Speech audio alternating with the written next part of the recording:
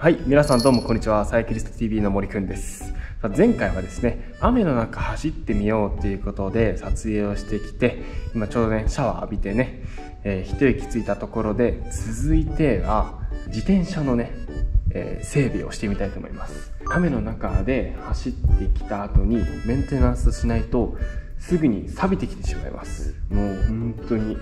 やっぱね、雨に濡れると、いろんな、えー汚れとか、見え見えないと言いますかね、このチェーンの一つ一つの細かいところまで汚れが入ってきちゃってます。でまた、えチェーンに油がないので、周遊したりとか、あの濡れている箇所とか、いろいろね、ばらして、これからちょっときれいにしていきたいと思います。あのね、雨の中なんで洗車はできないと思うので、こういうのは緊急メンテナンス的な内容になりますので、とりあえずじゃあ、やっていきましょう。ということで、いつも通りチェストマウントに変えたんですけど、メンテナンスする前に、まあ、ご自宅でやる場合は、下ね、新聞紙とかバスタオルを引くと下にね滴り落ちることもなく、まあ、水滴落ちたりとか、まあ、気にせず作業できると思うのでまずはね地面になんか敷くことをお勧めします。はいということでまずは前後輪を外しましょう、はい、じゃあ一回外していきますね。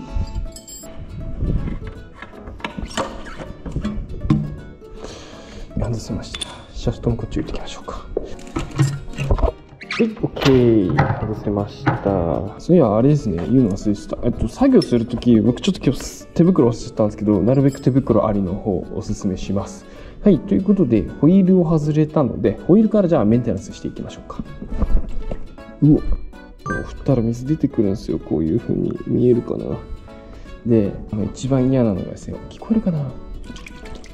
うわ、めっちゃ入ってる。振ったら、こう、わかるんですけど、こう、チャポチャポチャポチャポいってるんですね。これ水なので、これを全部抜かないとダメですね。ということで、まずは、まあ、何でもいいので、ウエスでタイヤを拭きます。いしょいや、これはすげえな。こんな入ってたんだ。で、あと今、チャポチャポいってるんですけど、これ雨水雨水なんで、ちょっとこれを取ってきます。はい。ということで、一旦、レ前輪はね、もう拭き終わったので、端っこ置いておきます。続いて、後輪なんですけど、まあ、こいつも同じように、まあ、水抜きはしないといけないんですけど、こっちは、スプロケも拭かないとダメですよね。スプロケを拭かないと、刃も錆びてしまうので、忘れずに、よし、OK。ということで、じゃあ、刃を拭いていきましょう。ここに関してはもうなんかウエス間に突っ込んで間に突っ込んで一枚一枚拭き上げる感じでいいかなって思います。ただねこう普通のこう洗車と違って絶対なんかこう綺麗になるってわけでもないのであくまで雨降って帰ってねちょっと錆びないようにするためみたいな感じですかね。なんかこれをやったから絶対錆びなくなるってわけじゃなくて錆びはどうしても進んじゃうのでその錆びの進む度合いを遅くするためにこまごまこういう作業をやってるですね。よしこんなもんかな。OK じゃあこいつもちょっと水抜き一旦してきます。はい、えー、ということで、えー、と後ろのホイールも水抜き終わりました。で吹き上げも完了したのでここから乾かします。次に今度はフレームに行きます。でフレームなんですけどこいつも水が入ってる可能性があるので例えば一回こういう風に立ててあげる。振ったりとか。こういう風になんかこうブラブラ動かした時に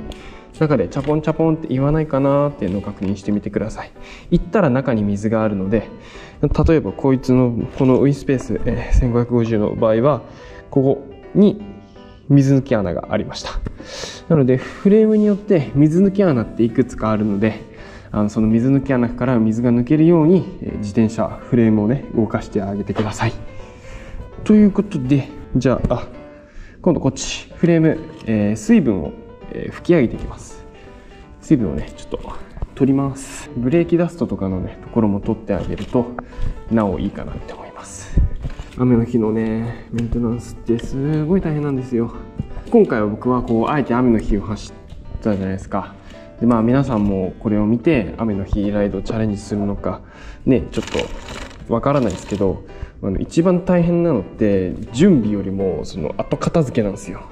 まあ、でも雨の中走ってこういう風にしないとメンテナンス吹き上げをしないと錆びちゃうっていうのがまあやらないと分かんないじゃないですか。雨の日走ってきてまあじゃあフレームだけ軽くさーって拭けばいいやってなっちゃうと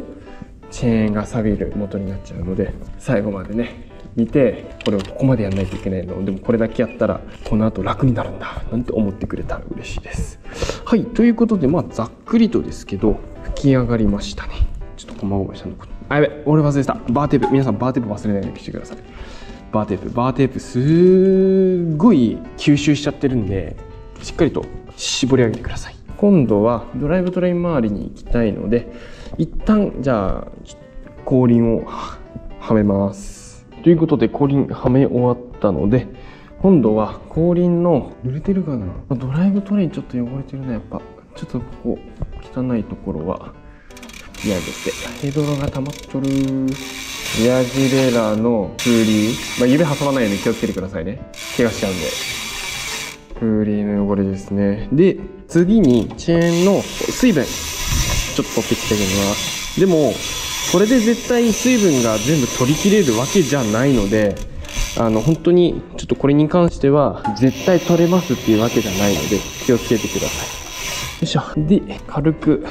吹き上げが終わったので今このチェーンにはオイルがついてないんですよ。要は雨の中走ってきてあのいろんな泥水とかで、えーと、落ちちゃってるんですねオイルが。なので必ず注油をしてください。で自転車用チェーンオイルを注油してください。で、えー、まあ僕が今回こう手元だったらマックオフだったんですけどワコーズの、えー、ラスペネとかあのそれでも全然大丈夫です。とにかくチェーンオイルを、えー、と塗布してあげてください。でどのくらいって言ったらたっぷりでいいです。理由はこうちょっと詳しい話になっちゃうんですけどチェーンの1コマずつに結構たっぷり塗布するんですね。で水と油じゃないですか。で混ざらないしお互いを弾き合うじゃないですか。まあなんかそんな作業とちょっと似たような効果をしてもらうために結構たっぷりめに塗っちゃいます。でなんか万能油って言えばいいですかね。そういうのあると思うんですけどじゃなくてここはやっぱ専用のねチェーンオイル系を使ってあげた方が安全かなって安心かなって思います。でチェーンのために作られている油になるので必ず十二分な効果を発揮してくれると思うので専用のものを使ってください。で結構今たっぷりやってるんですけど本当にたっぷりやってあの大丈夫です。雨の中でこの後1日乾かさないといけない乾かすことになると思うんですけどその中でもやっぱ水が少しでも残ってるとすぐそこから錆び始めちゃうので水の脱水と保護のために結構多めに塗っちゃいます。よし! OK です。一応これで塗布は終わりました。で次にえっ、ー、とこれを僕はなじませます。一個一個。ギアを変速していってインナーにも入れてインナーもなじませて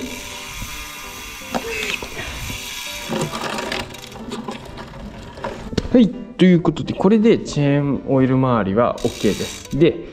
拭く拭かないあるんですけど僕は拭かないことをおすすめします。理由はその前前述した通り多めにチェーンオイルを塗って脱水した分その今度は酸素に触れちゃうので旅させないためにも拭き上げることはここはしなくてもいいかなって思います。よし。じゃあ最後ここから先はねあのやるやらないはちょっと皆さんにお任せするんですけど僕が最後仕上げにやることを紹介していきたいと思います。ではい。じゃやってもやんなくてもどっちもいいかなと思うのは最後え僕シュワラスターのゼロフィニッシュ使ってます。まあ艶出しコーティング系ですね。コーティング剤です。でこれあの洗浄艶出しコーティング剤ってあるんですけど一応これ1巻でもまるっと同じように吹き上げをすることができます。それだけでもいいですしこうやって一個一個丁寧にこう空拭きをするっていうのも、まあ、どちらでもいいかなって思います。僕はあの一回空拭きをしてからやるとより綺麗に汚れがあの取れやすいかなって思います。もうこれも量ないんで結構な伸びやすいんでしっかりと拭き上げれば。簡単にねこうツルツルヌルヌルテカテカにできちゃうんでね。ちょっとこれも反対側に敷いてさあしっかり拭き上げをしましょうよし OK かな。こんな感じで。ひとまずは水拭き上げと中油と軽いコーティングですね。これで以上になります。はい。でこの後こんな感じで倒立させて、えー、室内で乾燥させることをおすすめします。やっぱこうチェーンの水とかいろんなところに水溜まったりしてるのでこういうふうに天地返ししてると重力で下へ下へって出てくるので水抜き穴があるところから全部出てくるのでこのまま放置すれば下に下新聞紙とかびっしょびしょになるんで翌日。はい。一晩干すことをおすすめします。ということで、えーと、雨の日ライドをやった後の自転車の、えー、メンテナンスの紹介でした、まあ、特に、えー、中油と,、えーと、水分の拭き上げは必ずやってください。そうするとこうチェーンとかスプロケット、えー、前の刃と大きい刃とかに錆が映んなかったりだとか必ず雨の日走った後は、え、忘れずにメンテナンスをしてあげてください。もしも晴れた場合晴れたらもう絶対洗車した方が、えー、いいと思います。なので、えー、これはあくまで雨の日終わった後の緊急メンテナンスなので、はい、またね時間晴れている時とかに外で洗車をするなりちゃんとメンテナンスすることをお勧めします。ということで、えー、本日は雨の日ライド終わった後のメンテナンスの紹介でした。ご視聴いただきありがとうございました。チャンネル登録グッドボタンよろしくお願いします。